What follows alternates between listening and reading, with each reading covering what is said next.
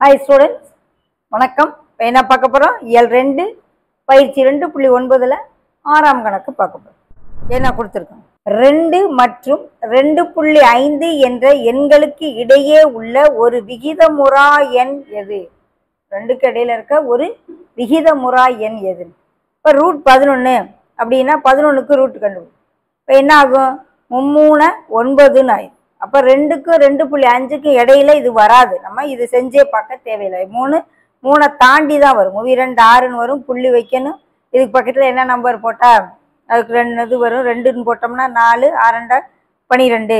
அந்த மாதிரி வரும். ஸோ மூணு புள்ளி ரெண்டு இது ரெண்டுக்கு இடையில இருக்காது. ஸோ இது இல்லை. கிடையாது. அடுத்து ரெண்டுக்கும் ரெண்டு புள்ளி அஞ்சுக்கு இடையில இருக்கணும்னு கேட்குறாங்க நமக்கு இது கேன்சல் மூணு புள்ளி சம்திங்னு வருது. அஞ்சுக்கு வருவோம். அஞ்சுக்கு வர்க்கமூல் எடுப்போம்.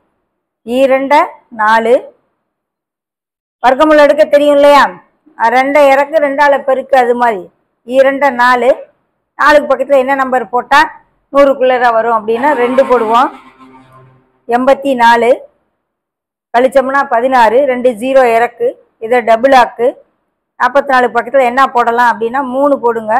மும்மூணு ஒம்பது நாமூணு பன்னெண்டுக்கு ரெண்டு மிச்சம் ஒன்று பன்னெண்டு ஒன்று பதிமூணு வரும். நாலு போட்டால் இதை தாண்டிடும் ஸோ இப்படி வரும். இப்போ நமக்கு ஒரு அப்ராக்சிமேட்டாக கண்டுபிடிச்சா போதும்.